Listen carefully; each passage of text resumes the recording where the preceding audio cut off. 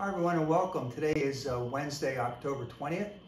And I'd like to pick up today uh, what we were talking about last week. I was talking a little bit about St. Ignatius Loyola and uh, periods of consolation and desolation in our spiritual lives.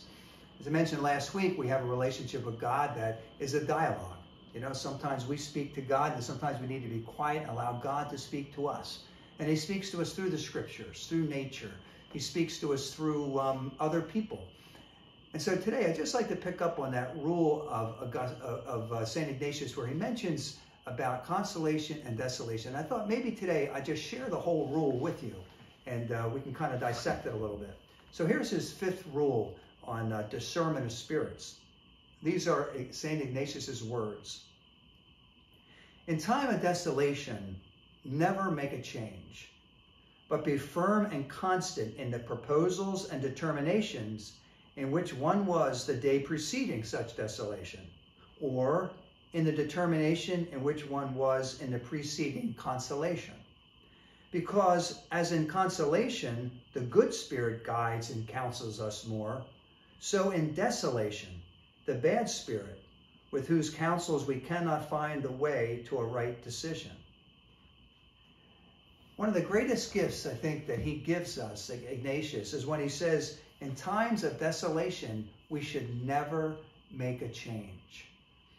See, in consolation, we're hearing the voice of the Holy Spirit. Consolation is a time where you feel the warmth of God's love. You feel close to God. Things seem to be clicking. Your prayer feels very rich. It's a wonderful time. And we really do hear in those times of consolation the voice of the good spirits, as Ignatius says, the voice of the Holy Spirit. Conversely, when we go through times of desolation, go through times where God seems very absent, temptations are horrendous, you don't feel any warmth of God's love, any desire to pray just isn't there, it's during those times we should not listen to the voices because the voices during desolation are very negative. And that's why one of the greatest gifts I think that he gives us is never make a change in your life, any big decisions during times of desolation. It reminds me of a story I think I might have shared with you some time ago of a devil who was going to retire from his services. And so all the devils got together he was going to auction off all of his belongings. And he had a bag there and he started pulling them out one by one to auction them off. The first one he pulled out was pride. Oh, that got a great price in the auction. Pulled out lust, pulled out greed, and all these things were going on and on. And finally, toward the end, the devil said, I only have one more thing left in my bag and I'm going to keep it for myself. Because this is the one thing, without fail, that always gets human beings over to our side. And in the bag, what was left was discouragement. When you and I are in periods of, of desolation, it's so easily easy for us to get discouraged. And all the promises we made, maybe in, in consolation. In consolation, you say, you know, I want to be more prayerful.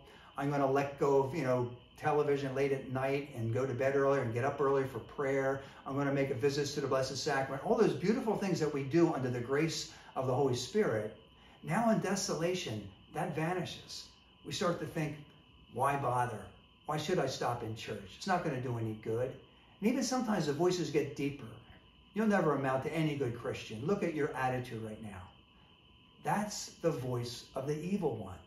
Don't listen to it don't make any decisions, any changes in our lives during those times of desolation. That's the gift that St. Ignatius Loyola offers us. So I'd like to just suggest this week, try that in practice in your own spiritual life. Because sometimes periods of desolation and, and consolation can happen in the very same day. You can wake up in the morning and feel consolation and close to God in your prayer. And by later in the day, you're like, you just want to quit. You don't want to pray. You want to throw your, your prayer book across the room take some consolation in knowing that that's rather normal in the spiritual life. What we need to do during those times of desolation is to adhere to those things that we wanted to do in consolation.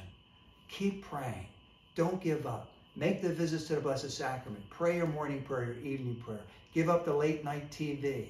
Don't listen to the voices that say, oh, that's stupid. Let's go do what I want to do now. So this week, we're all going to experience it consolation and desolation. If you're going through a period of consolation, thank God for it and enjoy it. It will pass, but it's a gift while it lasts. And keep praying. Times of desolation, this too will pass. Don't listen to the voices that tell you to quit or that you're not going to amount to anything or these temptations are too hard. Adhere in desolation to the promises you made in consolation. Keep praying. Hold fast. Don't quit before the miracle happens.